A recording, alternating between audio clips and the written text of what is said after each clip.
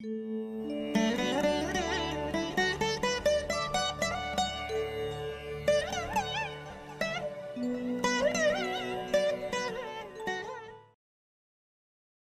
அமைப்பு எப்படி கேட்டேன்? நான்காம் இடத்தில் குரு அது வந்து ஒரு மூல விதின்றதுனால கேட்டேன். ஏன்னா நான்காம் இடத்தில் இருக்கின்ற குரு அதிகமாக சுபத்துவமாக இருக்கின்ற நிலைமையில தன்னுடைய பார்வையால் எட்டு பன்னிரெண்டாம் இடங்களை சுபத்துவப்படுத்துவார்.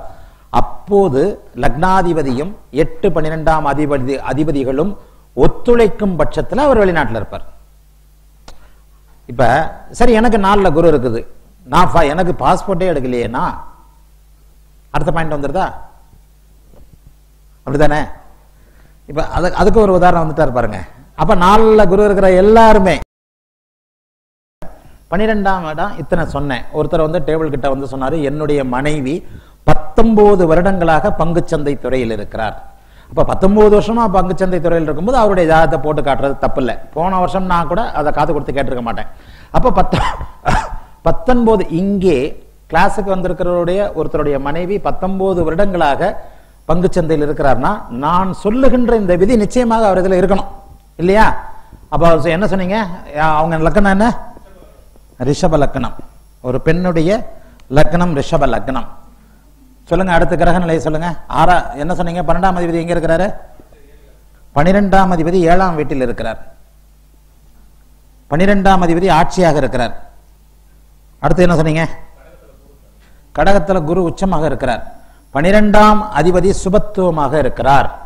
பத்தொன்பது இந்த அமைப்புல மேஷ லக்கணத்தில் பிறந்த ஒருவருக்கு புதன் உச்சமாக இருக்கிறார். வக்கரமாக கூட வச்சுக்கலாம். யாரோ ஒருத்தர் வக்கரத்தை பற்றி கேட்டார். வக்கரமாகவே இருக்குன்னு கூட வச்சுக்கலாம். புதன் வக்கரமாக இருக்கிறார் உச்சமாக இருக்கிறார். குரு இங்கே இருந்து சிம்மத்தை பார்த்து சுபத்துவப்படுத்துகிறார் சந்திரன் இங்க இருக்கின்ற ஒரே காரணத்தினால நான் வந்து ஆறாம் அதிபதி புதன் தசை நல்லது செய்யும்னு சொல்றேன். வேலை கிடைக்கும்னு சொல்றேன். அதிக ஆமா அதிக சுபத்துவம். அதாவது ஓரளவுக்கு நல்ல சுபத்துவம். ஆறாம் இடத்தின் சுப ஆதிபத்தியம் அரச அடிமை அடிமை. அரச அடிமைன்றது ரெண்டாவது. ஒரு சுருக்கமான தியரி நம்முடைய கீதையை சொல்லுகிறது. எதை நீ எடுத்தாயோ அதை இங்கிருந்தே எடுத்தாய். எது உனக்கு கிடைத்ததோ அது இங்கிருந்தே கிடைத்தது. இது கீதை. விஞ்ஞானம் என்ன சொல்லுது? நீ எதையும் புதிதாக செய்ய முடியாது உருவாக்க முடியாது. ஒன்றை ஒன்றை போல் மாற்றலாம். இது பௌதிகம் தெரியுமா? ஒன்றை ஒரு சக்தியை இன்னொரு சக்தியாக நீ மாற்றலாம். ஒரு புது சக்தியை உருவாக்கவோ அழிக்கவோ முடியும்